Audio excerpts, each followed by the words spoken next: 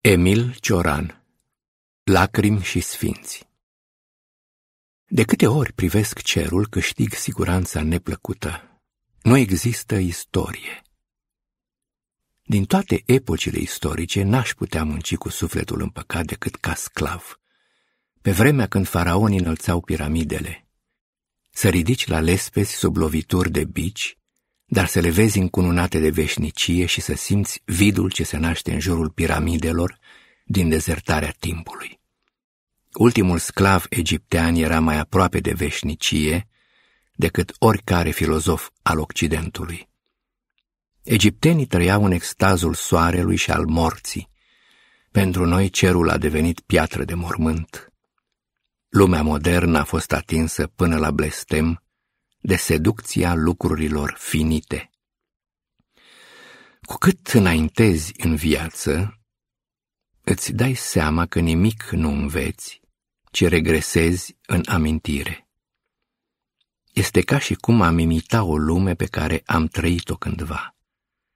Nu câștigăm nimic, ci ne recâștigăm. Identitatea cu noi înșine este o evoluție întoarsă, Ființa noastră imită o viziune primordială. Sfinții imită pe Dumnezeu sub imperiul inconștient al întâi amintiri. Pentru fiecare om, Dumnezeu este întâia amintire. Nu ajung la întâia amintire decât sărind peste conținutul actual al memoriei, peste contribuțiile timpului.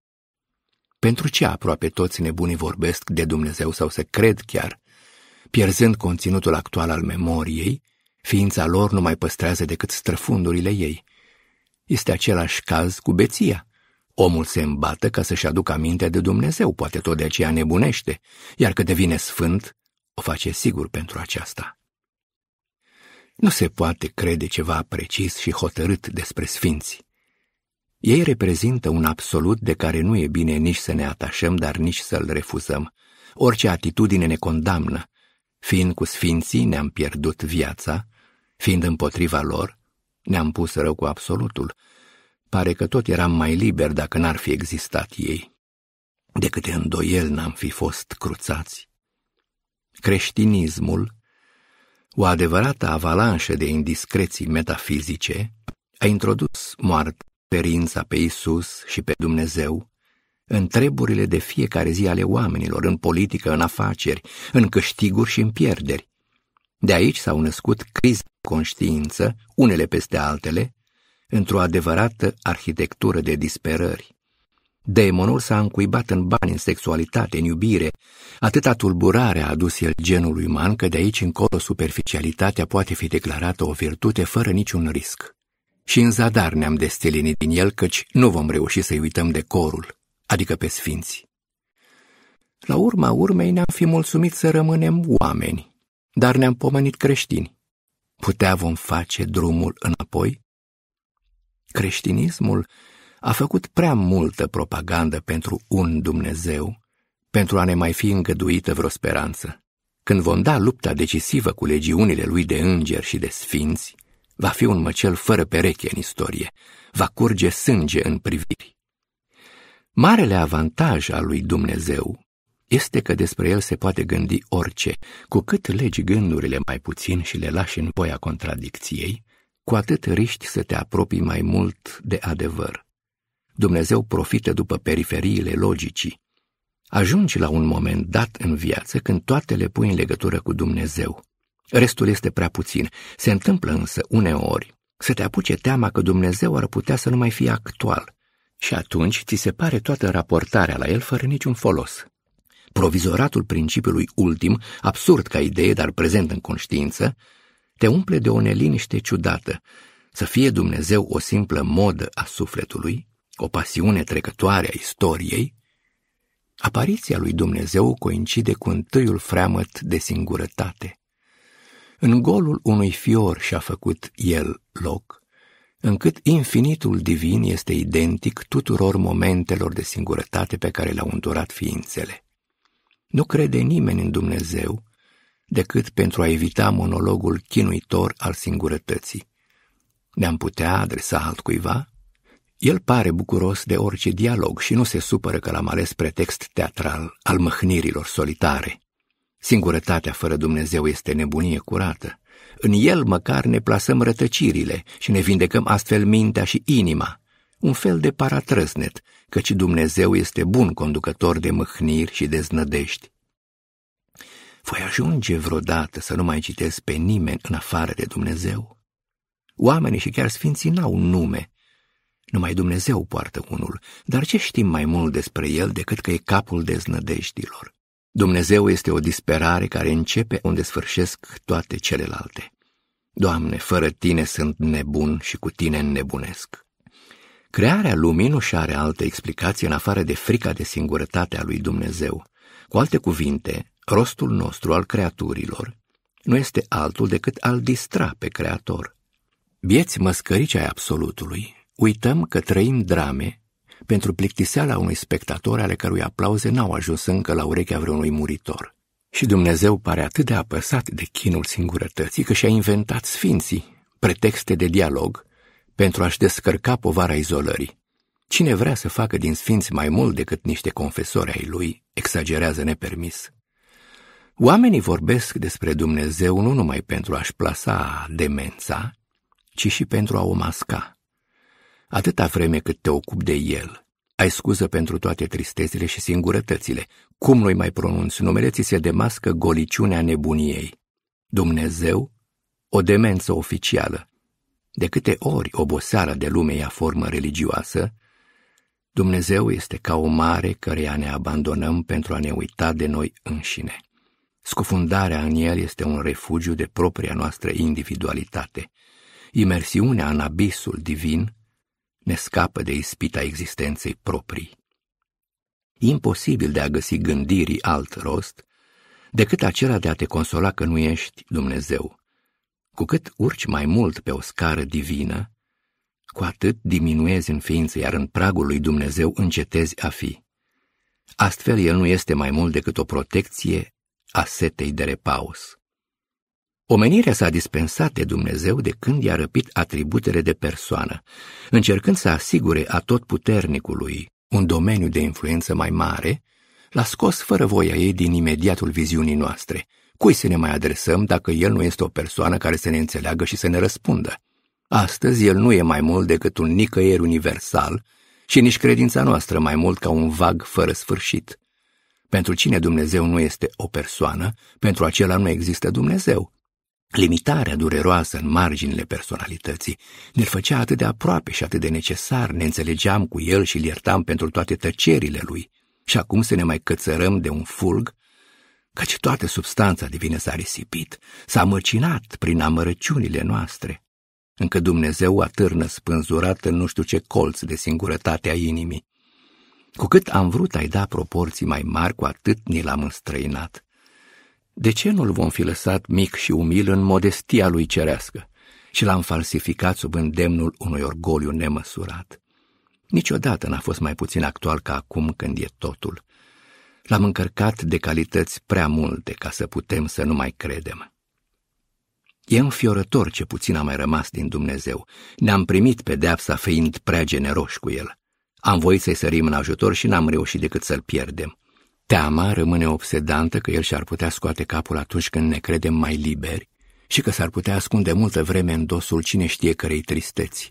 De aceea lupta cu el pretinde o strategie din cele mai iscusite pentru ca inamicul să nu profite de vreo slăbiciune finală și să-și recucerească pozițiile. Niciun om activ n-a crezut efectiv în Dumnezeu. Și n-a crezut fiindcă n-a avut timp, căci pentru a crede nu trebuie să pierzi o singură clipă în afară de Dumnezeu. Între viață și credință există o prăpastie insurmontabilă. Valorile religioase își extrag substanța din inaderența la viață. Totul fără Dumnezeu e neant, iar Dumnezeu nu e decât neantul suprem. Dacă ai ajunge la un păcare, n-ai mai trăit tu, ci te-ar trăi El. Dar câtă vreme mai înmuguresc deznădejdi, nu pot să-i dau pace. Cel mai umil creștin are momente în care vorbește cu Dumnezeu de la egal la egal. De n-ar permite și religia astfel de satisfacții de orgoliu, omul ar plesni sub înnăbușirea virtuții lui esențiale. De aceea ateismul flatează libertatea umană, căci vorbind de sus cu Dumnezeu, ridică orgoliul la rang demiurgic. Cine n-a disprețuit niciodată principiul suprem, este predestinat sclaviei. Suntem noi cu adevărat numai în măsura în care îl umilim. Dumnezeul meu trăiește într-un cer subteran. Orice formă de Dumnezeu este autobiografică, nu numai că purcede din tine, ci te și tălmăcești în ea. Este o viziune dublă a introspecției care ne descoperă viața sufletului ca eu și ca Dumnezeu. Te vezi în el și el se vede în tine. Va putea aduce Dumnezeu toate lipsurile mele? Va putea El să se urnească sub povara atâtor tristeți? Unde s-a ajuns după atâtea meditații asupra lui Dumnezeu? Să se repete aceleași evidențe, argumente și absurdități. Tot ce cunoaștem nu echivalează un acord de orgă. Gândirea și poezia l-au intimidat, dar n-au lichidat niciun mister din jurul lui și am reușit astfel să-l îngropăm cu toate tainele. Se prea poate ca rostul omului să nu fie altul decât să se gândească la Dumnezeu. Dar putea să-l ignore sau să-l iubească ar fi salvat, căci el nu este o incomoditate decât pentru gândire. Te-ai apucat să-l descoși? Ești pierdut. Dar chiar acesta pare a fi rostul omului, să-l descoasă. Nu e de mirare că în scurt timp nu s-a mai ales nimic din el. Dumnezeu va rezista la multe în fața gândului și pierde substanța, o haină veche, atât a mai rămas din divinitate și pe care o îmbraci, fiindcă n-ai alta. Ce sărăcie! Istoria omenească este, în fond, o dramă divină. Căci Dumnezeu nu numai că e amestecat, dar suferă paralel și cu intensitate infinit mai mare procesul de creație și de devastare ce definește viața. Cine mai mult decât muritorii a suferit că el nu este ceea ce trebuie să fie? Cum de n-avem atâta prudență încât să suprimăm în fașă orice vocație supranaturală și să închidem pe veci toate ferestrele inimii deschise spre altă lume? Sunt clipe în care fierbe în mine o ură cosmică împotriva tuturor agenților unei alte lumi, pe care nu știu la ce chinuri aș supune ca să mântuiesc aparențele. Ce convingere tainică și dureroasă îmi spune repetat și irezistibil că de a-și trăi printre sfinți aș ascunde un pumnal să nu mărturisesc că mi-ar face plăcere o noapte a Sfântului Bartolomeu printre îngeri, nu m-ar speria nici petele de sânge plecate dintr-o inimă de sfântă. Pe toți agenții dezerțiunii din lume i-aș spânzura de limbă și i-aș lăsa să cadă într-un leagăn de crini. Cum să nu-i urăști pe îngeri, pe sfinți, pe Dumnezeu și pe toată șleachta paradisului, care întrețin și provoacă o sete bolnăvicioasă după alte lumini și umbre, după alte adăposturi și ispite.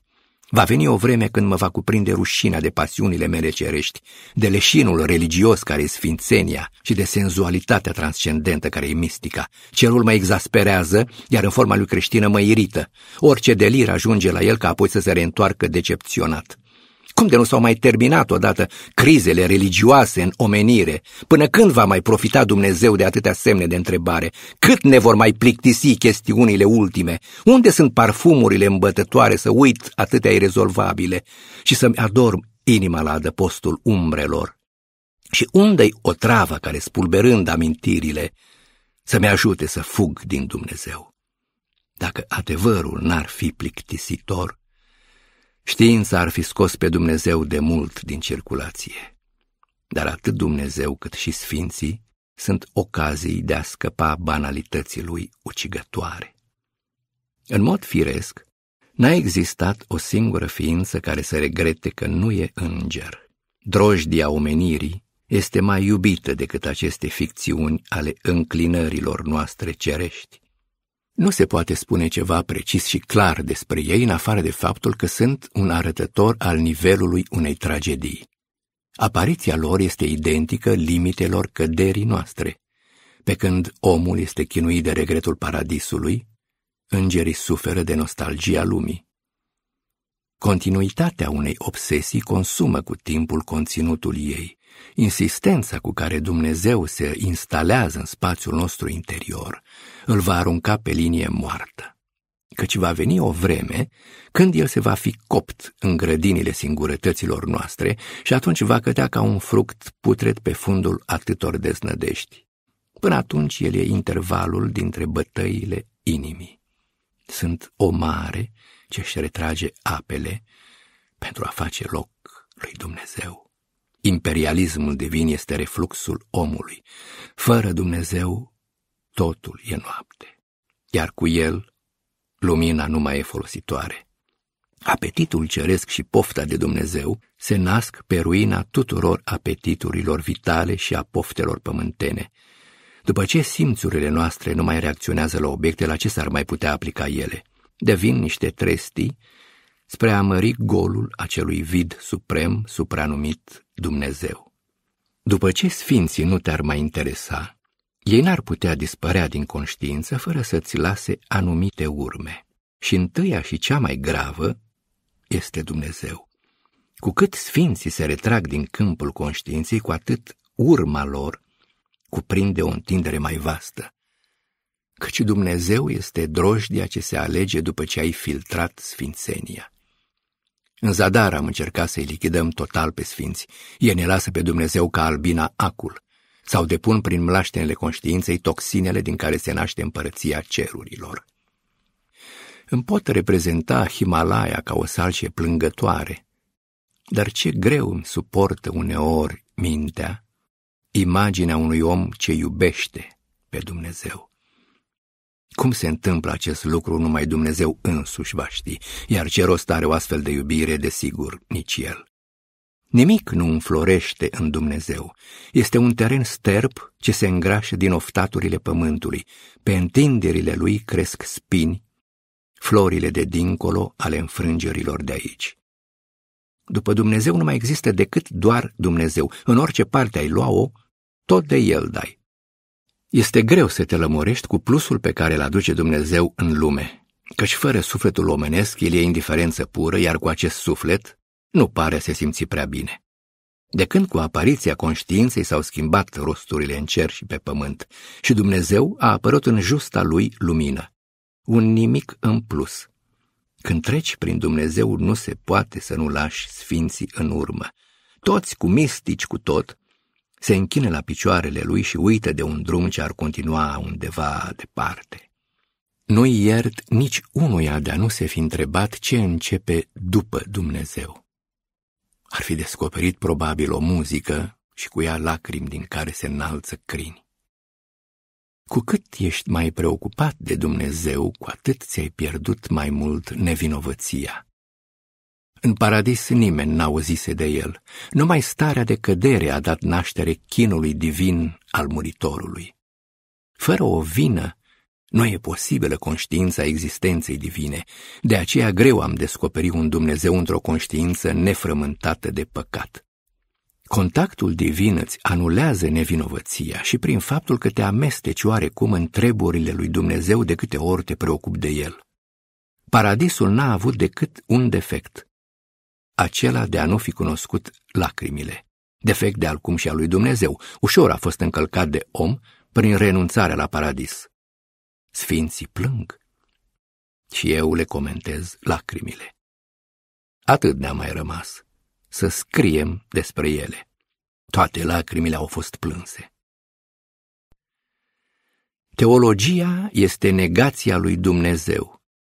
Ideea absurdă de a umbla după argumente pentru a-i proba existența presupune atâta sărăcie interioară, încât este o evidență strigătoare că toate tratatele de teologie la oaltă nu fac cât o exclamație a Sfintei Tereza.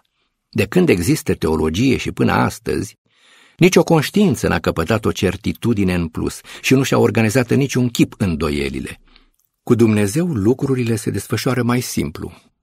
Te pomenești când te aștepți mai puțin, în mijlocul lui. Aici începe momentul dureros și complicat. Teologia a rămas în urmă, căci ea nu este decât modul de a crede al ateilor. Cea mai proastă băiguială mistică este mai aproape de Dumnezeu decât suma teologică și rugăciunea improvizată a unui copil oferă o mai mare garanție ontologică decât toate sinoadele ecumenice. Fără confesiunile mistice, religia și cu ea biserica n-ar fi mai interesante decât cine știe ce problemă de economie și finanțe, evoluția salariului și impozitelor. Tot ce e instituție și teorie nu mai e viață. Biserica și teologia au asigurat o agonie durabilă lui Dumnezeu, sau poate la un bălsămat de mult. Numai mistica i-a dat viață de câte ori a vrut. Teologia ar avea valoare când ar fi posibilă o relație teoretică cu divinitatea. Este însă mult mai ușor de găsit una fiziologică. O incomoditate organică ne poate apropia de Dumnezeu mai mult decât toate construcțiile abstracte ale teologiei. Acea servitoare care spunea că nu crede în Dumnezeu decât când odor dinții, i-a făcut de râs pe teologi. Absurdul și ultimul. Iată cele două elemente din a căror proporționalizare se naște adâncimea echivocă a religiei. Căci ea nu este decât un surâs peste un nonsens cosmic, un parfum final peste o ondulație de nimicnicie. De aceea când religia nu mai are niciun argument, recurge la lacrimi. Doar ele mai țin echilibrul universului și mai susțin pe Dumnezeu în ființă. Când se vor termina, va dispărea și regretul după el. Atributele lui Dumnezeu depinde de dispoziția noastră și de împrejurări. Când suntem generoși și bine dispuși, îl încărcăm de atribute pe care abia le poate suporta. Dar sunt amărăciuni în care îi retrage în dreptul de a fi, un zero de atribute. Sau ți se pare că uneori aș ști totul, atunci ce nevoie de inteligibilitate ar mai satisface el? Sau când ți se pare că nu știi nimic, de ce să mai adaugi o ignoranță? Prea de multe ori prezența divină e superfluă. Fără o tristețe întrebătoare, nu pot bănui ce ar face acel Dumnezeu. În locul teologiei, am putea plasa ce nu știu ce poet numea știința lacrimilor, o știință cu argumente directe și cu o metodă imediată. Astfel se lărgește domeniul religiei și își întinde câmpul ei vast de nonsens consolator. Obsesia divină evacuează iubirea terestră. Cu cât femeia ocupă inima noastră, cu atât el este aruncat mai spre periferie. Nu poți iubi în același timp cu pasiune o femeie și pe Dumnezeu. Amestecul celor două erotici ireductibile creează o pendulație interminabilă. O femeie ne poate scăpa de Dumnezeu, precum Dumnezeu ne poate scăpa de toate femeile. Sufletul oamenilor care au fost turmentați de Dumnezeu seamănă unei primăveri de vicii, încep adevărate decadențe florale, dezgusturi parfumate, muguri infectați. Cum pot muri oamenii vara? Și cum de există cimitire în soare? Ideea de nemurire s-a născut sub cerul vast al sudului, fiindcă soarele este singura negație a morții. Ceea ce mă separă de viață și de tot este o bănuială plină de groază că Dumnezeu ar putea fi o problemă de a doua mână. Și această îndoială lucidă până la demență îți încrucișează brațele. Ce se mai poate face? Frivolitatea existenței să fie atins până și pe Dumnezeu? Boala inesențialului, să fie afectat esența, de multă vreme s-a corupt substanța divină de-i punem la îndoială sănătatea și virtutea. Dumnezeu nu mai e prezent, nici fulgeri și nici blesteme nu-i mai înviorează tăriile. Prin ce ospiciu își odihnește bătrânețile? Am înțeles, un absolut care se cruță, o lume care n-a fost demnă decât de o divinitate decrepită. Dumnezeu pendulează între Rusia și Spania, între Dostoevski și El Greco, țări gravide de Dumnezeu. Mai sunt și altele, dar ele nu-l poartă în măruntaie, ci se mulțumesc al cunoaște. Singurătatea m-a făcut totdeauna contemporan morților, spunea Bares. Cum adică nu există viață în singurătate, numai eternitate. Religia este un mod de a fructifica nebunia latentă, iar bisericile sunt ospicii necompromițătoare, Mistica i-a atribuit numai lui Dumnezeu dreptul de a spune eu. Nouă, ce ne mai rămâne atunci? Să vorbim la plural? Știam că trăim singuri, dar uitasem că la judecată vom fi condamnați în masă. Iată-mă, Doamne, eu stau aici și aștept să viu cu toți, să ne judeci, căci Tu n-ai curajul să ne privești singurătățile în față. Unde este viață, nu este veșnicie și invers. Eternitate vie, contradictio in adiecto. Să poți vorbi ore întregi cu oameni ce îi disprețuiești despre lucruri vesele și indiferente și ei să nu întrevadă deloc ce aproape ești de judecata din urmă. Cât ești de pierdut pentru lume și câte chemări de sfârșit te agită. Cine nu bănuiește ce înseamnă așteptarea de fiecare clipă a judecății, este prea timid cu Dumnezeu și incapabil de această ultimă provocare. Nevoia unei răfuieli definitive cu patronul prostiei cosmice naște în suflet această așteptare ciudată și poate și dorința de a nu muri înainte de a călca sentința unuia care după ce a creat o lume mediocră și superfluă, găsește de cuvință cum mai poate și cântări. Judecata de apoi apare în conștiință precum Dumnezeu, păcatul sau îngerii, un moment ce e drept nedeterminabil și imprevizibil, dar numai puțin un stadiu al neliniștii. Judecata de apoi? Ei și, vrea Dumnezeu să ne mai omoare încă o dată? Nu te speria, Doamne, că nu ne plictisim în morminte. Nu se poate stabili cu niciun fel de preciziune când așteptarea judecății de apoi determină conținutul fiecărei clipe. Creștinismul a conceput judecata de apoi ca sensul final al istoriei. Toate ființele se vor perinda ca să dea socoteală. După ce Dumnezeu a găsit că s-au perindat destule, convoacă istoria întreagă. Se ține ședință cu devenirea, vreau să spun cu cimitirele. Deși ideea judecății de apoi este absolut ininteligibilă și o provocare fățișă oricărei înțelegeri, ea constituie o categorie necesară de explicație a nimicului nostru. La judecata de apoi se vor cântări numai lacrimile. Haideți la judecata de apoi cu flori la butonieră. Fericirea noastră a modernilor este că ne-am descoperit infernul în suflet, unde am fi ajuns cu reprezentarea lui exterioară și istorică. Două mii de ani de frică ne-ar fi spânzurat de noi înșine. Tristețile îți aruncă în suflet umbre de mănăstiri și prin acestea începi să înțelegi pe sfinți oricât ar vrea să ne însoțească până la marginile amarului, ei nu pot. Și astfel ne lasă în drum pe la mijlocul amărăciunilor și al căinței. Inima lor are altă înclinare, fiind cu axa în Dumnezeu. A noastră își caută sprijin într-un infinit de dezolare, înclinându-se până la amețeală. Când vorbești de Dumnezeu numai pentru a fi mai puțin singur în nimic, el nu este mai mult decât o invenție sau un pretext al singurătății. Cine nu-l poate iubi până la absurd, n-are niciun rost să se mai încurce cu el. Sfinții au putut fi triști pentru Dumnezeu. Nouă nu ne poate fi mai mult decât un debușeu al tristeților. Alții au purtat venerație. Imposibil de a arăta mai mult decât interes. De n-ar fi fost boli în lume, n-ar fi apărut niciun sfânt. Căci n-a existat până acum niciunul sănătos. Sfințenia este înălțimea astrală a bolii. Bolile au apropiat cerul de pământ.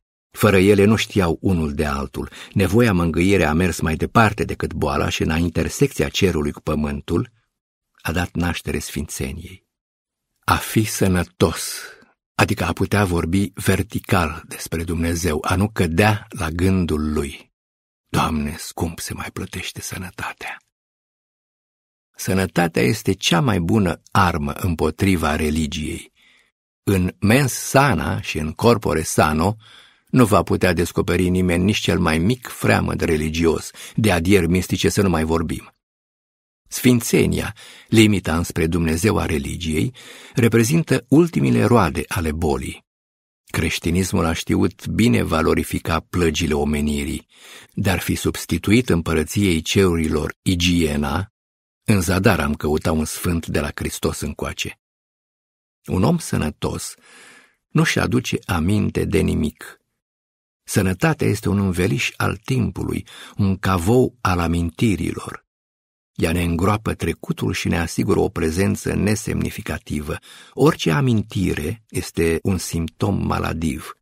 De câte ori lunecăm pe panta amintirilor, de atâtea ori suferim din cauza vieții. Romantismul, în esență, nu este decât abuz de memorie. Totul a mai fost cândva. Este o șoaptă care se dilată în convingere de câte ori teroarea sau frumusețea zilelor ne înfioară până la insuportabil. Atunci toate percepțiile paramintiri a căror avalanșe nu putem stăpâni. Cerul a fost privit întâia oară de întâiul om bolnav. Totul este însă a ști stăpâni o boală, a deveni prin ea tare și periculos, a nu fi bolnăvicios și prin ea să fii contagios, dar cu spiritul. Să trăiești toată viața ca o variațiune pe motivul aici zace. Plictiseala este forma cea mai elementară de suspendare a timpului. De câte ori ne plictisim, se oprește timpul în țesuturi. Organismul este atunci un ceas care stă și care știe că stă. Toate bolile se bazează mai mult sau mai puțin pe afecțiuni parțiale și ca atare remediabile, căci bolile își au locul lor. Dar care este spațiul plictiselii? Unde e locul ei natural? Trebuie să fie în toate organele, în intimitatea tuturor membrelor, vacuități ce ne aduc aminte de peșteri subterane. Mai mult, trebuie să fie în fiecare celulă a corpului un gol infinitezimal. Toată viața nu este decât o soluție a plectiselii, încerci adică să te salvezi din ea. Există flori ale melancoliei și tristeții. Îmi place să mă gândesc la rădăcini când e vorba de plictiseală cu atât mai mult cu cât ea este și întâia treapta dezrădăcinării din lume. Cu cât ne plictisim mai adânc, cu atât uităm punctul inițial, motivul, cauza. Astfel, orice plictiseală adâncă sfârșește prin a deveni stare în sine. Cu toate acestea, ea nu e o problemă religioasă. Sunt doar atâția oameni care se plictisesc toată viața fără să fie ajuns la Dumnezeu. O culoare este o stare de suflet, Într-o sensibilitate nuanțată și excitabilă, toate culorile inspiră tonalități afective, încât putem traduce viața sufletească într-o gamă cromatică. Pe atâți oameni îi lasă indiferenți un amurg, dacă însă pe unii scoate din ei înșiși, faptul se datorește numai dispoziției în care de transpune un anumit gen de culori. Într-o lume plină de lumină pură, viața sufletească ar fi omogenă și ar avea o singură dimensiune. Absenței obiective de culoare iar corespunde un alb psihic. Culoarea este suferința luminii, a spus Goethe, dar a noastră nu suferim noi cu toate culorile? Totul în viață este să te știi plictisi esențial. Nenorocirea este că aproape toți oamenii rămân la suprafața plictiselii. Se cere mult stil pentru a viețui urâtul substanțial. Aurora cunoaște idealuri, amurgul numai idei iar în locul pasiunii apare nevoia distracției. Cineva spunea că plictiseala este modul de a fi sărac al bogaților. Este drept că săracii nu se plictisesc, dar cum rămâne cu deznădejdea, acest climat moral al sărăciei? Lumea se împarte în proprietari și în cerșetori. Săracii fiind la mijloc, ei constituie eternitatea fada a istoriei. Cerșetorii sunt tot așa de mari reacționari ca și proprietarii. Niciunul din ei nu dorește schimbare sau progres. Numai săracii se străduiesc și poartă greul. Fără ei n-ar exista societate, căci proprietarii sunt bestii, iar cerșetorii nu vor nimic. De n-ar exista săraci, ideea de cetățean n-ar avea niciun conținut. Aremia lor hrănește statul, speranțele lor sunt vinele societății și deznădejdea lor, sângele istoriei. Proprietare și cercetorii sunt paraziții veșnicilor săraci. Există nesfârșite soluții împotriva mizeriei, niciuna împotriva sărăciei. Așa s-a născut omenirea asta, cu câțiva bogați, cu câțiva cerșetori și cu toți săracii. Cerșetoria nu este un rezultat al mizeriei. Într-un stat perfect ar fi tot atâți cerșetori cât în oricare stat istoric. Cerșetorul profesional este un aspect constant al vieții. Atâta vreme cât vor exista răspântii, porți și milă, el va apărea din nimic. Cerșetorul e parfumul răspântilor, senzația tuturor intrărilor și salvarea tuturor miloșilor. Fără el, mila s-ar dilata ca un vid în conștiință și neputându-se plasa nicăieri, ar da naștere la un vârtej de insatisfacție. Se prea poate ca mila să fi creat cerșetoria sau, în cazul cel mai bun, s-au născut deodată.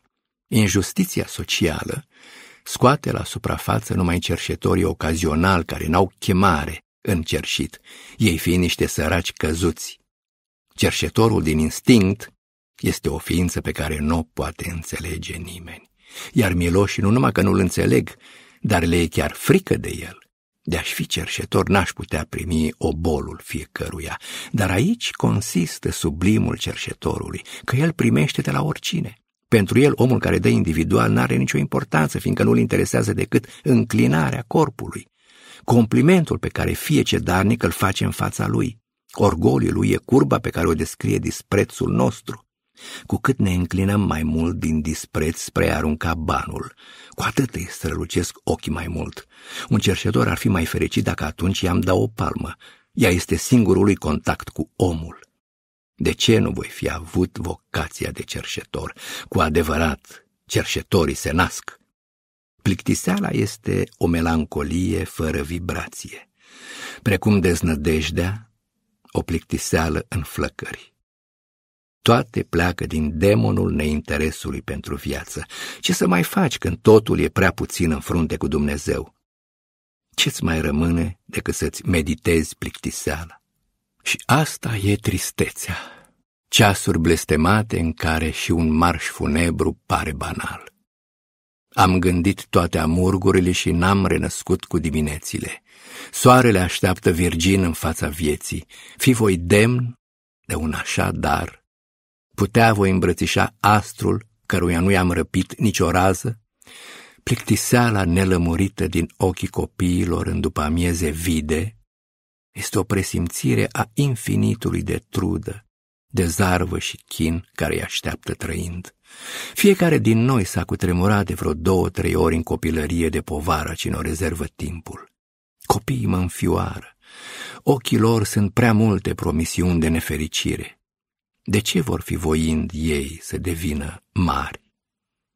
Copiii și nebunii au privilegiul unui geniu automat pe care îl pierd în neantul lucidității. Inaderența la viață creează un gust pentru geometrie. Începem și vedem totul în forme fixe, în linii înghețate, în contururi moarte.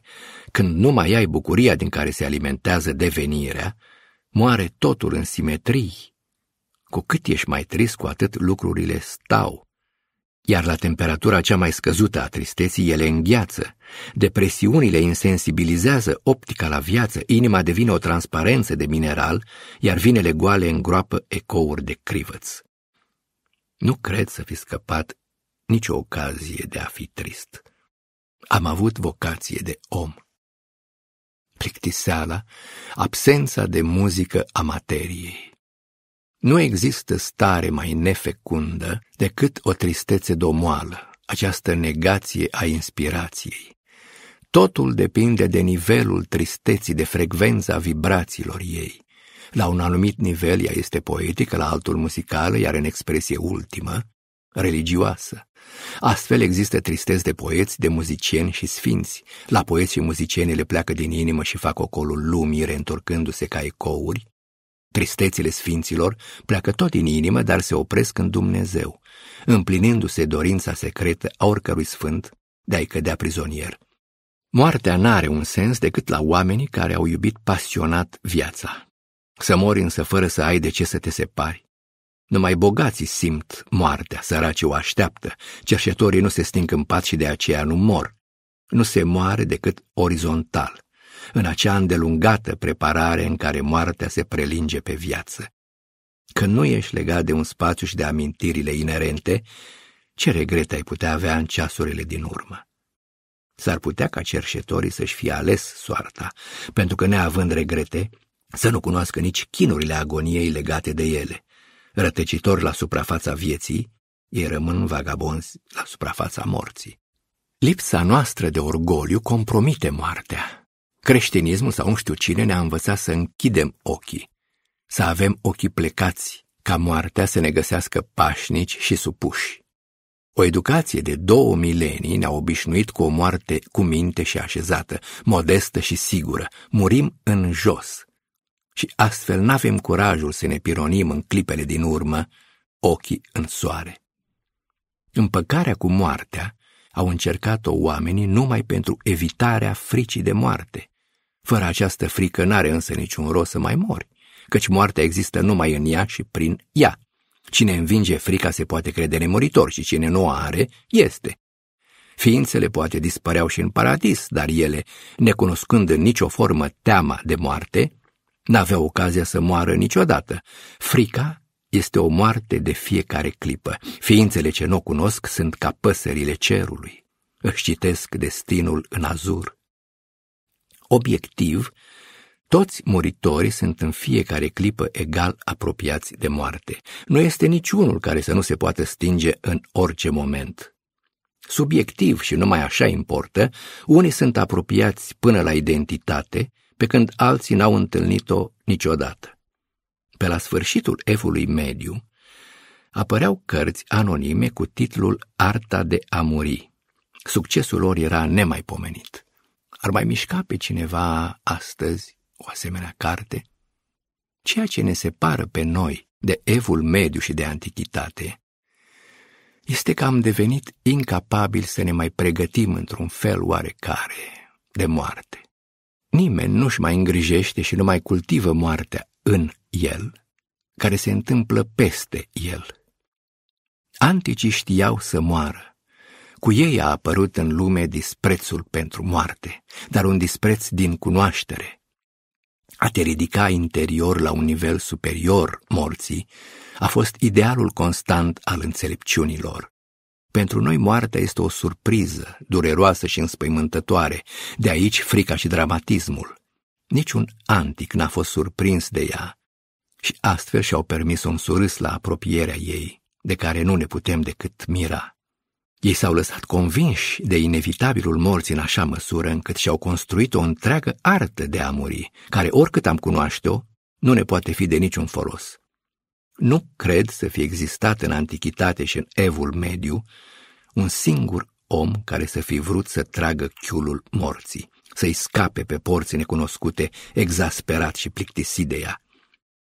Un călugăr medieval sau un înțelept antic, din a nu avea încotro, își făcea, imaginând o artă întreagă ale pădării de lume, o temă constantă de meditație și de experiență. Noi am vrea ca să murim fără să existe moarte. Lunecarea din timp este precedată de o topire lăuntrică a organelor și de un fior moleșitor în sânge care ne arată ce legătură strânsă există între fiziologie și eternitate. Este destul să fi început prin câteva suspendări ciudate și inexplicabile ale timpului pentru ca echilibrul instabil dintre temporalitate și eternitate să te treacă dintr-una într-alta.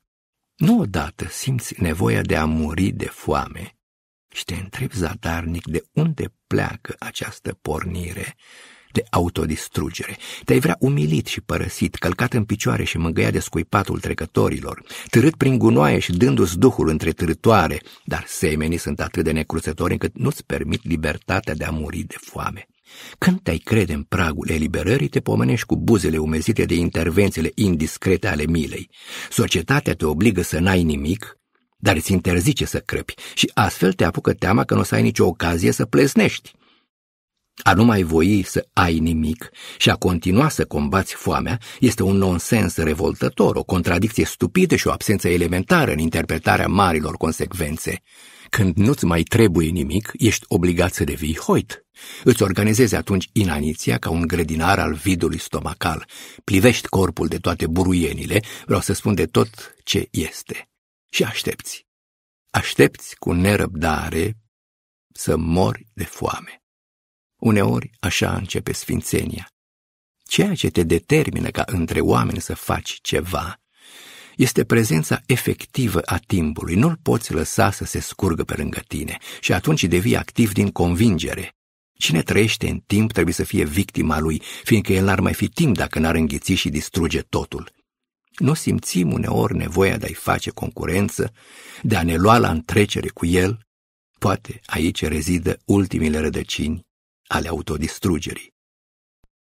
Câtă vreme umbli pe străzi, parcă lucrurile tot ar mai exista, dar când privești pe fereastră, pe orice fereastră, totul devine ireal. Oameni, arbori, animale conspiră în neființă. Și oare cum transparența geamurilor ne poate separa în așa măsură de viață? Fereastra, care ne deschide spre lume, ne îndepărtează în fond mai mult decât zidul unei închisori. Uitându-te la viață, începi să o uiți.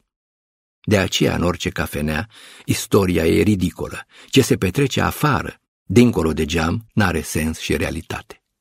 Schopenhauer susține că de-a bate la lespedea mormintelor pentru a oferi morților viață, ar refuza cu toții. Cred din potrivă că de bucurie ar muri încă o dată. Veșnicia, a fi încropat de viu. Cu cât îi citesc pe pesimiști, cu atât iubesc viața mai mult. După lectura lui Schopenhauer îmi pare rău că nu slogodnic. Schopenhauer are dreptate să susține că viața e un vis. Dacă viața ar fi o realitate, cine ar putea o suporta?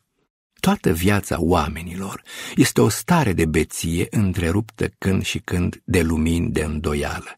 Dar fi ei în clar cu lucrurile, ar putea trăi mai departe un singur moment. Cei mai normali dintre ei sunt beți morți, căci treaz nu se mai poate nici măcar respira. Alcătuirile vieții sunt construcții de delir care se demască sângeros unui ochi de veghe. Cu cât ești mai normal, cu atât ești mai departe de adevăr și mai aproape de viață.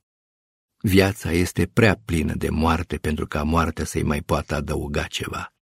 Doar Dumnezeu să se roage pentru cel în care n-are ce să mai moară. La ce renunțăm? La aparențe. Și renunțarea este atât de grea, fiindcă ele alcătuiesc însăși substanța vieții. Sub deliciul și teroarea creștină, omul nu aspira decât la un beneficiu, perfecțiunea. Orice i-ai fi oferit în afară de ea ar fi avut o valoare negativă. Până pe la începutul secolului al XVIII-lea abundau tratate despre perfecțiunea umană. Aproape toți oamenii care s-au oprit la mijloc în drumul spre sfințenie scriau spre consolare un asemenea tratat, încât secole de-a rândul perfecțiunea a fost obsesia sfinților nereușiți. Cei reușiți nu se mai preocupau de ea având-o. Ultimile secole și-au schimbat atitudinea până la dezafectare privind fenomenul perfecțiunii cu toată neîncrederea și cu o nuanță evidentă de dispreț. Atât de mult și-a făcut din soartă o tragedie că, învingând regretul paradisului, s-a dispensat implicit de aspirația perfecțiunii. Alte vremuri au născut sfinți și oamenii au fost mândri de ei. Noi nu-i mai putem decât aprecia. De câte ori credem că iubim, nu este mai mult decât o slăbiciune a noastră care ne apropie trecător. Sfinții trăiesc în flăcări, înțelepții alături de ele. Parcă tot mai bine era fără sfinți. N-am fi văzut atunci fiecare de treburile noastre și eram veseli de imperfecțiune. Prezența lor însă creează complexe de inferioritate, dispreț și invidii nefolositoare. Lumea sfinților este o travă cerească, a cărei virulență crește pe măsura singurătăților noastre. Nu ne-au corupt ei arătându-ne prin exemplu că durerile ajung și duc undeva? Eram obișnuiți să suferim fără scop, pierduți în inutilitățile durerii și să ne oglindim în propriile însângerări. Nu trebuie să fim însă prea triși căci durerile nu duc numai la cer. Ceea ce îi deosebește pe oameni de sfinți nu este orientarea față de cer, ci atitudinea față de corp. Cerul nu are niciun om, dar corp are orice sfânt. Este pentru oameni corpul o problemă? În atât cât sunt bolnavi, da, încolo și îl târâie cu inconștiență. În sfințenie însă, el este o obsesie constantă. Sentimentul de a fi tot și evidența de a nu fi nimic, spunea Paul Valery. Iată o concluzie de poet obligatorie pentru cel ce a frecventat sfinții. Sunt de un farmec mișcător căderile și leșinurile sfinților. Ele dovedesc că revelațiile nu pot fi primite vertical, că nu putem sta în picioare în fața unor dezvăluiri ultime.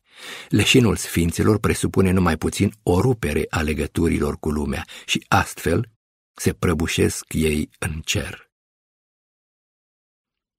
Nu se poate gândi decât orizontal. Este aproape imposibil să concepi eternitatea în poziție verticală. Animalul se va fi ridicat la rangul de om în momentul trecerii de la orizontal la vertical, dar conștiința nu s-a născut decât în clipele de libertate și de lene, orizontale prin excelență. Când stai întins cu ochii fixați asupra cerului sau a unui punct oarecare, separația dintre tine și lume deschide un gol fără de care nu e posibilă conștiința. Niciun gând nu se naște în mers. O gândire este cu atât mai vie cu cât își încoronează mai mult efortul în irezolvabile. Neexistând soluție pentru nicio problemă și nicio ieșire la nicio situație, ești redus a te învârti pe loc într-o înfundătură. Gândurile alimentate din dureri și amărăciuni iau forma aporiilor, acest clar obscur al gândirii. Suma de irezolvabile aruncă o umbră tremurătoare asupra lucrurilor și împrumută gândirii seriozitatea incurabilă a amurgului. Peste tot nu există soluții, ci numai lașități. Am de partea mea toate asfințiturile. Până și sfinții să fi cunoscut voința de dominare, să existe adică un imperialism în lumea lor, nimic mai evident pentru cine înțelege deplasarea obiectivelor, pe când noi ne exasperăm forța în lupta pentru bunurile trecătoare, orgoliul lor e prea mare pentru a nu dori o lovitură definitivă, o posesiune integrală. Spațiul în care se exercită imperialismul sfinților este cerul, iar armele de cucerire suferințele. Omul rămâne totdeauna proprietar. De această mediocritate n-au scăpat nici măcar sfinții. Nebuniile lor au parcelat inegal cerul după mândria mărturisită sau nemărturisită a suferințelor. I-au deplasat vertical obiectivul imperialismului, adică au ridicat pământul până la suprema lui aparență, la cer, spațiul voinței lor de dominare. De nu m-ar apuca uneori o ură susținută de scârbă împotriva acestui doliu al inimii care este sfințenia, nici lepră n-ar putea fi numită boala care i-aș fi căzut pradă. Sfințenia nu este decât sistematizarea unei insomnii, o veghe fără capăt. Păzesc sfinții somnul lumii sau îi țin de urât lui Dumnezeu? Uneori toți sfinții la oaltă nu fac decât un sentiment erotic în înserări, iar alteori toate extazele lor nu echivalează încântarea unei singurătăți păgâne. Cine știe dacă toată sfințenia nu este decât o perfecțiune în ordinea negativă? Iubesc prea mult lucrurile care se nasc și mor pentru a mă înțelege prea bine cu ea. O rezervă de sănătate îmi înstrăinează cerul și deși cunosc bolile care se tratează doar cu Dumnezeu, Paliativele pământene mă seduc cu o atracție chinuitoare. Toți sfinții cu elan reformator au pornit la drum în urma unei porunci divine comunicate direct sau mijlocite de îngeri. Altcum nu se poate explica atâta curaj, atâta renunțare, atâta nebunie. Ei se credeau încredințați de Dumnezeu cu o misiune, a cărei realizare era o datorie și a cărei neîmplinire păcat. Din îndemn propriu, Niciunul n-ar fi plecat la drum sau ar fi cedat unei lașități inevitabile, dar cu șoaptele îngerului proaspete în urechi. Ce obstacol este prea mare! Cea mai compromisă persoană din istorie este Iosif, tatăl lui Isus. Creștinii l-au aruncat pe o linie moartă și l-au făcut de râsul bărbaților. Dar fi spus el o singură dată adevărul, fiul lui ar fi rămas un evreu obscur. Triumful creștinismului își are originea în lipsa de orgoliu a unei virilități. Imaculata concepțiune pleacă din pietatea unei lumi întregi și din lașitatea unui bărbat. Marele noroc al lui Isus este că a murit tânăr. De trăia vreo 60 de ani în locul crucii scria memorii și astăzi suflam praful de pe un fiu al lui Dumnezeu fără noroc. Înfrângerea individuației este secretul misticii ca și al muzicii sau eroticii. Ceea ce îl doare pe mistic nu este că aruncă ultimele legături temporale, ci că nu reușește să le arunce pe toate și pentru totdeauna. Bucuria lui este triumful asupra temporalității. Criteriul de diferențiere a misticii autentice de cea imperfectă este accesul la bucuria finală. Cazul atâtor mistici nerealizați să fie un regret ascuns, dar constant, după temporalitate? Priviți un arbore într-o zi imobilă cu soare și când frunzele par broderii ale unei inimi în primăvară. și veți înțelege că toate problemele devin fade în fața creșterii indiferente a naturii, a inconștienței ei, în afară de care totul e durere, blestem și spirit. Slăbiciunea pentru natură pleacă din oroarea de conștiință. Spiritul nu-ți mai spune nimic și iubește atunci lipsa de întrebări și de răspunsuri ale plantei. Orice peisaj mă face să uit că există un când, un atunci, că au fost odată clipe sau că am fost capabil de viciul de a fi fericit un timp.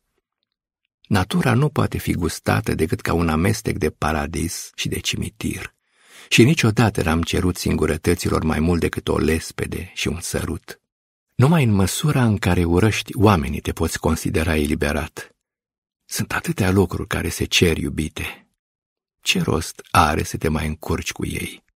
Trebuie urâți ca să avem libertatea de a adera la perfecțiuni inutile, la tristeți de dincolo de timp, la fericiri supraistorice, este o lipsă de distinție și de gust în orice aderență la umanitate. Dezgustul de om te face să iubești natura. Așa apare ea în rolul de consolatoare. Rostul ei este să ne închidă rănile, să ne vindece de contactul cu omul. Dezinfectați odată putem porni la alt drum, pe care nu trebuie să ne urmeze nimeni. Ca atare, natura nu este mai mult decât un stadiu al lepădării noastre de lume. Avem prea multe amurguri în inimă de căutăm natura pentru umbrele ei. Ce rost are să consumi o pasiune între niște animale nereușite, fleacuri biologice și caricaturi cosmice? Un om este cu atât mai inferior cu cât simte nevoia colaborării, a muncii constructive împreună, cu cât înregistrează sau se gândește la existența altuia. Nu există nimeni. Este o concluzie obligatorie și întăritoare și probabil că nimeni n-a existat niciodată. Imperativul de a fi singur, cumplit de singur, deși îl simți de la întâile bâșbâieli ale reflexiunii, trebuie realizat fără îndurare, în ciuda tuturor afecțiunilor și slăbiciunilor. Universul nu e decât un spațiu pentru singurătate, iar vietățile n-au fost lăsate de atot puternicul decât pentru a ne verifica și întări izolarea. N-am întâlnit pe nimeni niciodată, deși m-am împiedicat de umbre din lipsă de luciditate și abundență de înșelăciuni. Îți faci groapa ca să ai punct sigur în spațiu și mori ca să nu te rătăcești stadiul final al tristeții, nu mai există deosebire între lacrimi și pietre. Inima devine stâncă, iar pe sânge patinează dracii. Tot ce în mine țipă după viață îmi cere să renunț la Dumnezeu și ce nu face omul pentru viață. Punctul nul al existenței. Îți este tot una că citești un proces verbal sau că te gândești la Dumnezeu. Regretul de a nu fi plantă. Cine să-l priceapă? Pe cine să-l înduioșeze dorul vegetal? Să fie o floare în care se îngroapă razele și dorm visele pământului și pe care să o culeagă un înger trist, spulperându-i petalele cu un suflu cald și nostalgic. Regretul vegetal te apropie mai mult de paradis decât religiile la oaltă. Cine nu iubește natura, nu iubește nici muzica, iar acele peisaje ce nu ne trezesc reprezentări muzicale nu pot fi amintiri. Cel ce n-a rătăcit, transportat și melancolic prin parcuri, nu va înțelege grația mozartiană, înserări grave, fără Brahms, sau monumentalul naturii fără Beethoven. Muzica are un caracter cosmic. Fără dragoste de natură ne lipsește baza pasiunii muzicale. Adieri funebre în grația mozartiană. Cine nu le descopere nu știe că grația este un triumf asupra tristeții și că nu există în fond decât grație melancolică. Un andante mozartian nu ne invită totdeauna la fericire. Concertul în la major pentru pian și orchestră este un exemplu. Va fi avut Mozart un suflet în la major, dar cu ispitirile constante ale minorului? Aș vrea ca adevărurile să fie purtate pe armonii mozartiene, pe echivalentul sonor al parfumului de roze, cum ele n-au însă nicio tonalitate și nicio rezonanță, pot fi primite și așa reci cum sunt într-un suflet pustiu. Și apoi adevărurile ar trebui să fie ușoare, să nu cântărească lucrurile, pentru a nu mai cădea cu greutăți în inimă. Există o întreagă gamă a melancoliei, începe prin surâs și peisaj, și sfârșește în dangăt de clopot spart în suflet. De aici gustul diferit al lacrimilor. Primavera cu o rouă care ar putea fi lacrimi. Nu pot face diferența între lacrimi și muzică, spunea Nice. Nu cunosc nimic în afară de muzica lacrimală, căci ea, plecând de la regretul paradisului, dă naștere la semnele acestui regret, la lacrimi. Vocea vior e zgomotul pe care îl face deschizându-se poarta paradisului, spunea Gelal Edin Rumi. Omul nu poate trăi fără reazemul în spațiu pe care însă muzica ne-l anulează complet. Am înțelege muzica în mod total când ne-am deposedat de rezistențele și intervențiile cărnii. De aceea este ea calea sonoră a ascezei. Se mai poate iubi după Bach? Nici măcar după Handel. Muzica este un mormânt de delicii, o beatitudine care ne îngroapă. Numai paradisul sau marea m-ar putea dispensa de muzică. Omul crede că trăiește în voia valurilor. El uită neîncetat marea, valurile fatalității. Poezia s-a născut la marginea mării, nici în orașe de șes și nici de munte.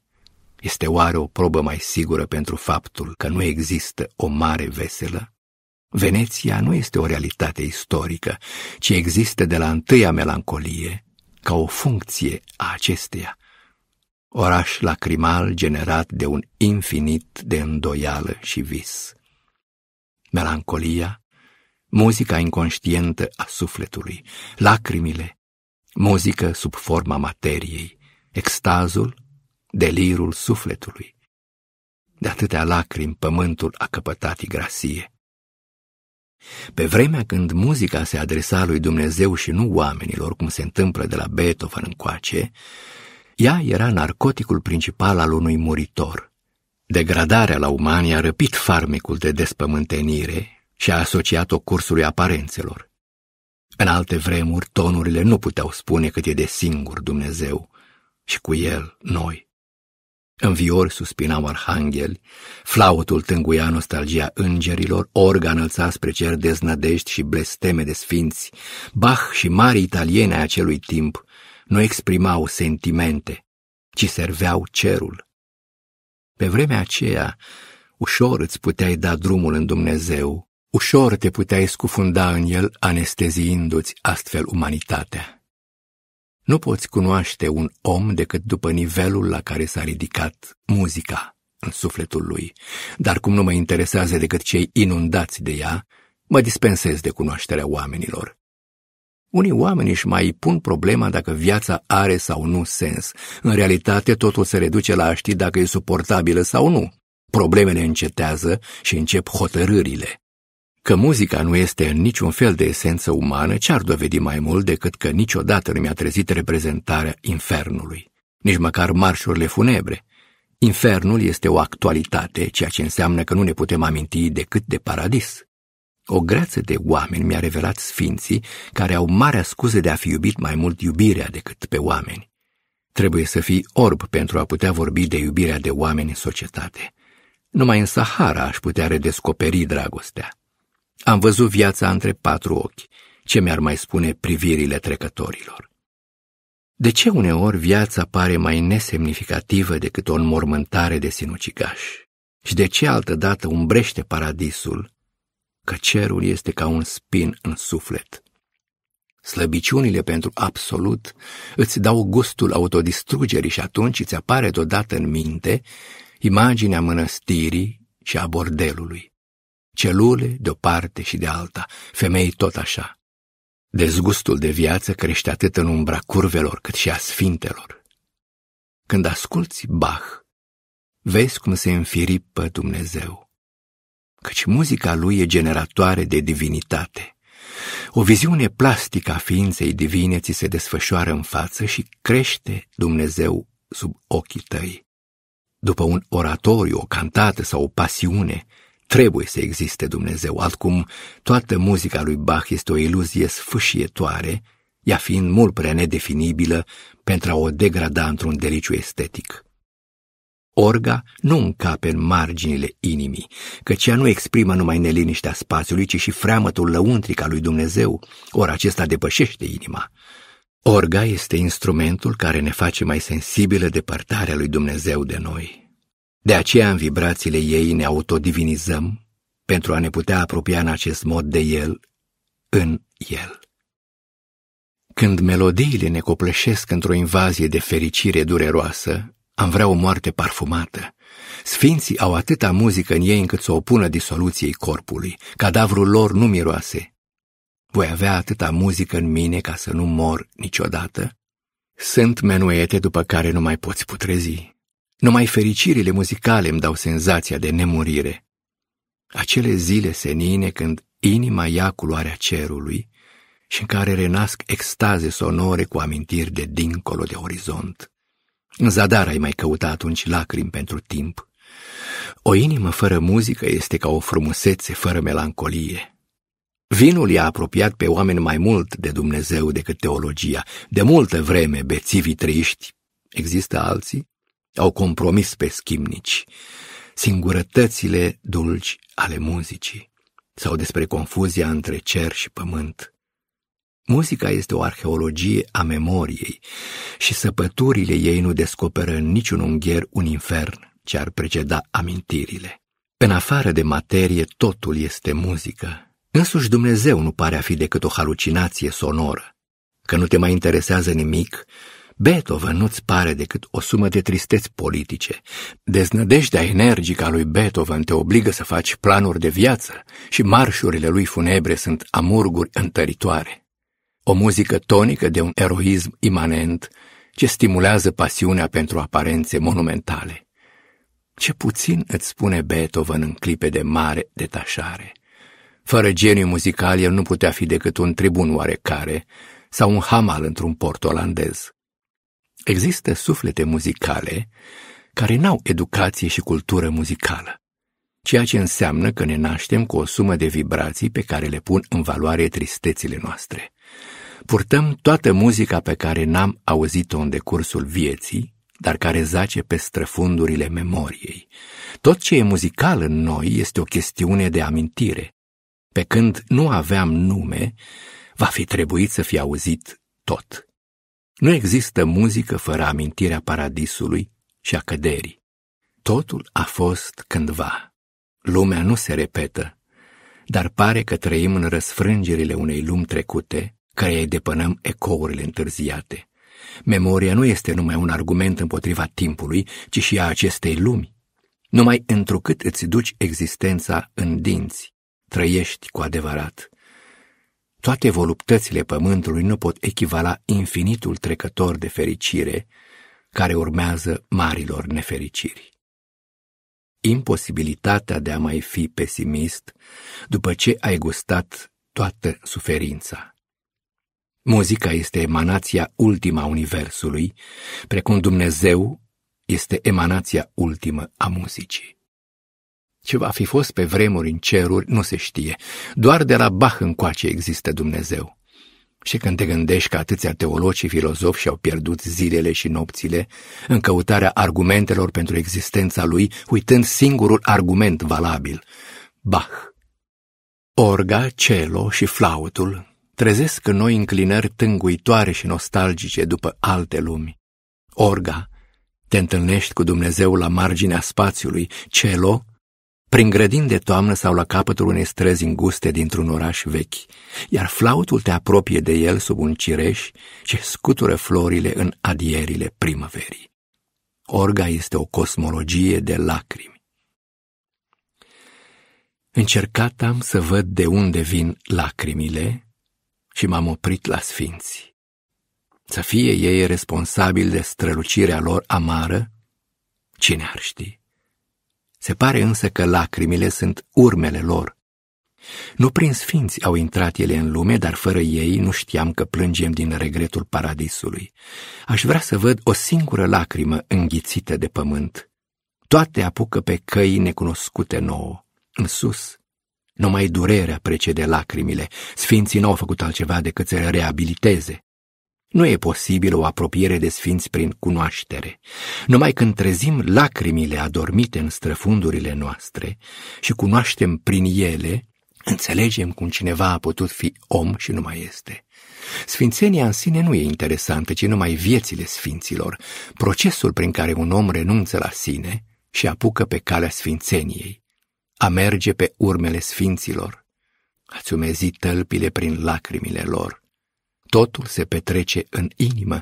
Iată ce înseamnă mistică și sfințenie, numai că nu trebuie să ne gândim la inima oamenilor, ci la aceea sfinților.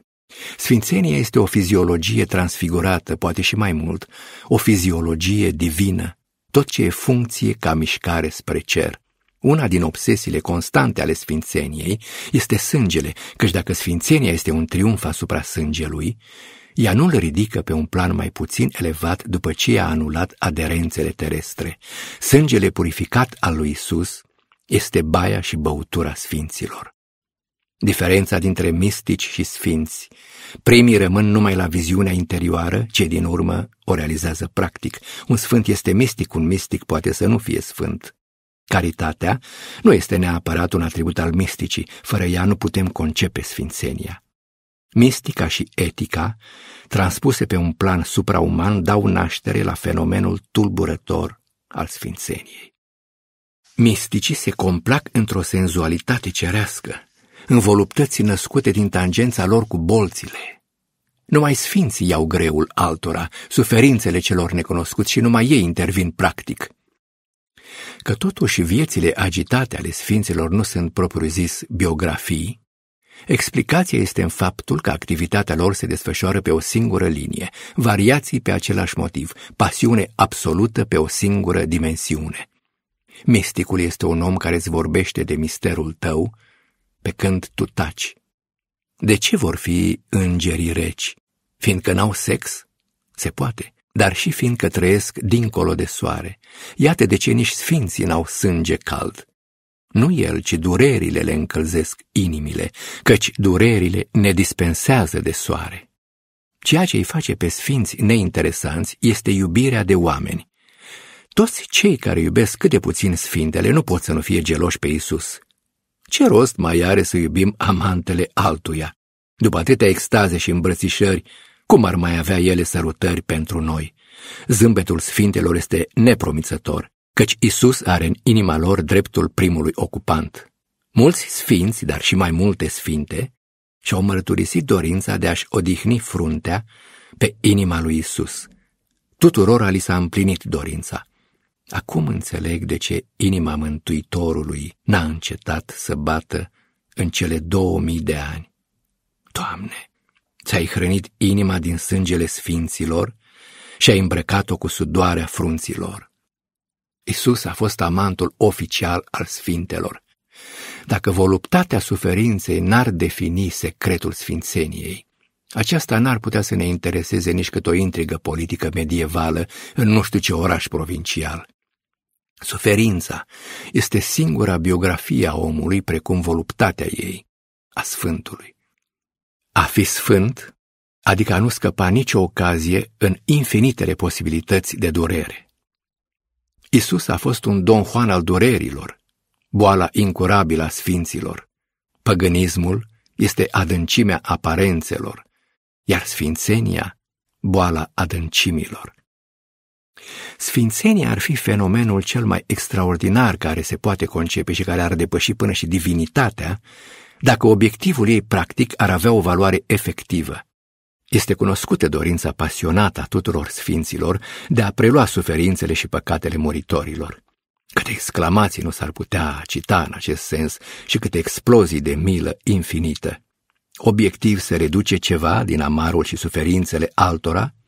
În afară de capacitatea de consolare, efortul sfinților este ineficace, iar realizările practice ale iubirilor lor nu întreg dimensiunile unei iluzii monumentale.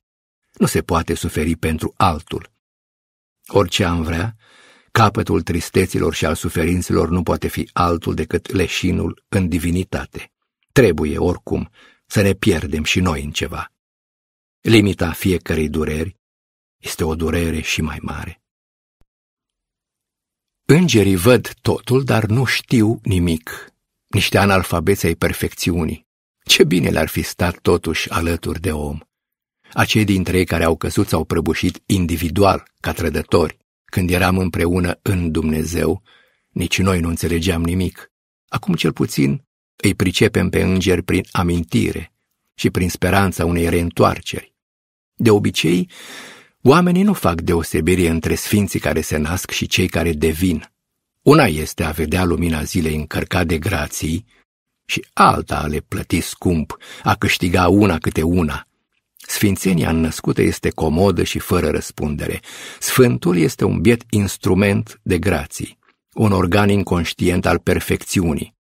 Mă îngrozesc însă când mă gândesc la sfinții fără talent, care au muncit pentru grațiile cerului, sfințenia plătită cu sudoarea corpului și a sufletului. Aceștia sunt cei mai mulți. Ei datoresc absolut tot suferinței. Ceilalți, privilegiații, adevărați proprietari ai azurului, nu trec peste o înclinare spre durere și nici nu o valorifică mai mult ca un pretext. În zadar am încercat să facem din Dostoevski un sfânt. N-am reușit. Dar nu văd niciun sfânt care n-ar fi mândru să-i deslege curelele încălțămintei. Talentul pentru sfințenie te furișează printre suferințe, Majoritatea sfinților însă s-au așezat de-a curmezișul lor și astfel nu există durere să nu-i fi izbit și să nu-i fi calcat. Exemple? Dar poate oamenii au dreptate că nu le mai cântăresc durerile, atribuindu-le tuturora un merit egal de suferință. Biserica a greșit când a acordat titlul de sfântă numai câtorva femei. Misoginia și zgărcenia ei mă obligă la mai multă generozitate. Orice femeie care plânge lacrimi de iubire în singurătate este sfântă. Ce n-a înțeles biserica niciodată? Că sfintele sunt plămădite din lacrimile lui Dumnezeu. Încep să știi ce e singurătatea când auzi tăcerea lucrurilor.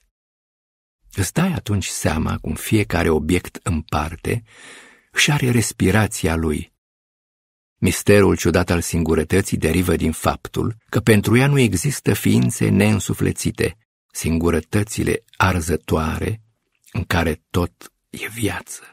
Și umbrele au viața lor netălmăcită. Prea puțini poeți au existat în omenire, atâtea obiecte au rămas închise în ele însele, străine de propriul lor înțeles. Cine ar putea să le salveze printr-un câmp de singurătate identic lumii? Dumnezeu aterizează în gorurile sufletești. La orizontul deșertului lăuntric trage el cu coada ochiului, căci Dumnezeu, ca și boala, se încuibă în locul cele mai mici rezistențe. O ființă armonioasă nu poate crede în Dumnezeu.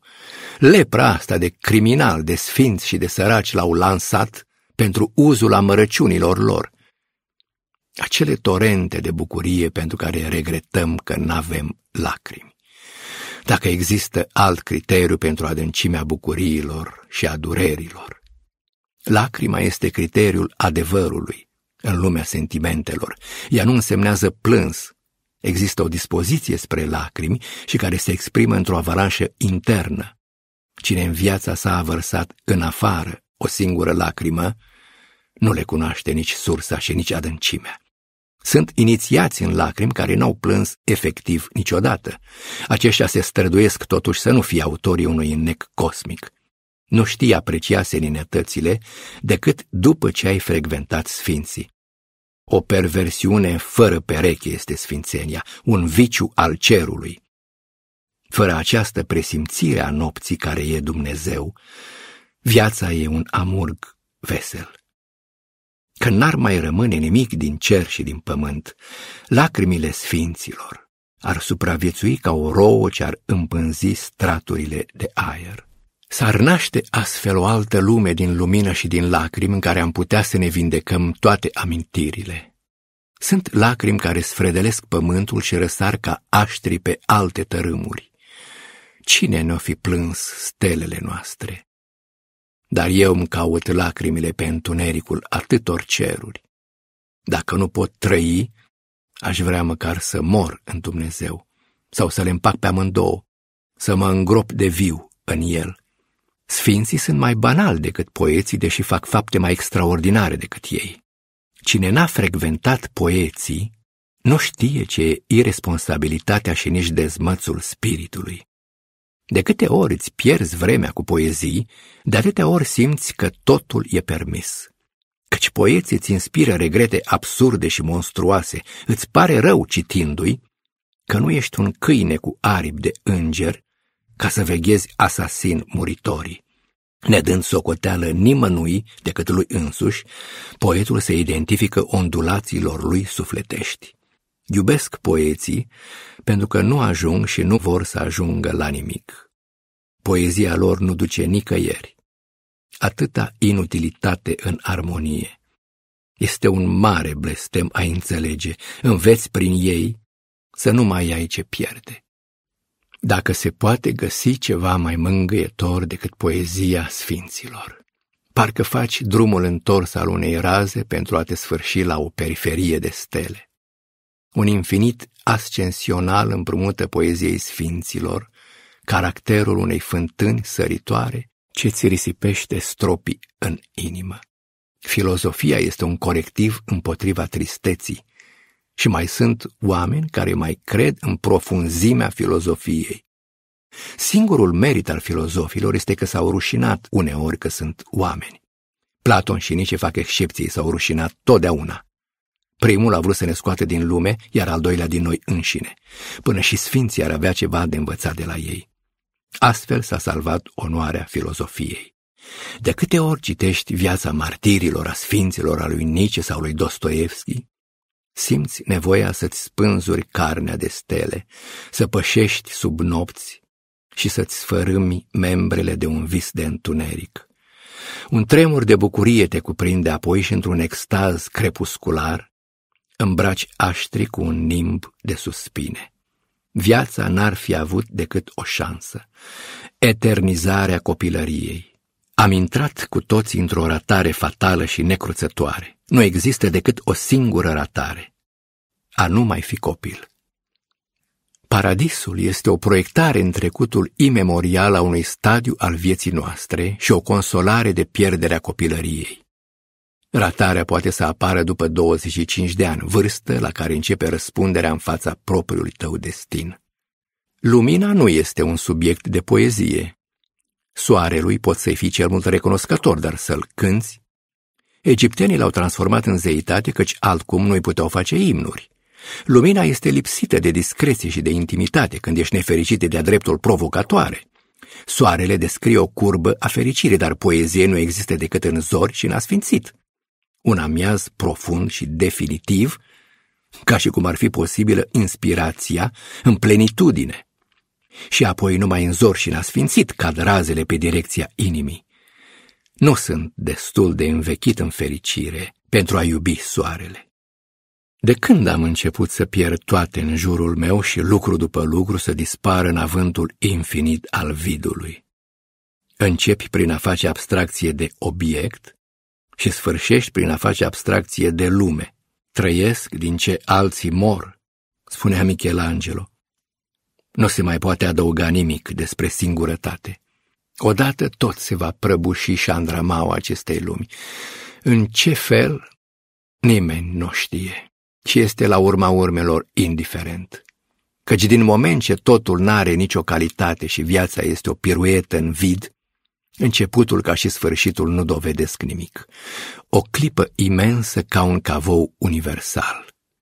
Atâta e realitate mă obligă să simbolizez procesul universal printr-un etc.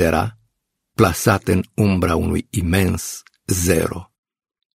După toate ideile mari, ar trebui împlântat un semn de exclamație, precum scheletul pe transformatoare electrice. Atât cât trăiesc pentru nimic în lume, n-aș renunța să știu că mor. Dar aștept moartea ca să pot uita acest blestem în mijlocul ei. Până și cravata ne-o alege Dumnezeu din veacul veacurilor, iar lumea a murit înainte de a se naște.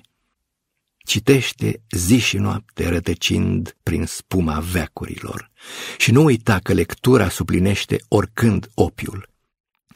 Cărțile trebuie înghițite ca prafurile adormitoare, Nimeni nu citește pentru a ști, ci pentru a uita. Bibliotecile, ca și cârciumile, sunt fructul plictiselii. Ce interesant e să fii trist, împrejmuit de nenumărate cărți, să-ți scuturi visele cu praful de pe tomuri.